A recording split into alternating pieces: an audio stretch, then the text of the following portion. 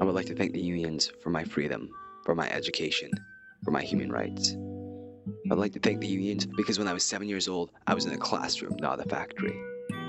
The children worked 14 hours a day, six days a week, so thank you for the time I had with friends. I worked these endless hours for pennies, so thank you for my childhood. I would like to thank the unions for a minimum wage, for the weekend, for overtime pay, for the right to refuse unsafe work, for parental leave, for workers' compensation, for lunch breaks, vacations, social security, pensions, whistleblower protection laws, privacy rights, and paid vacation.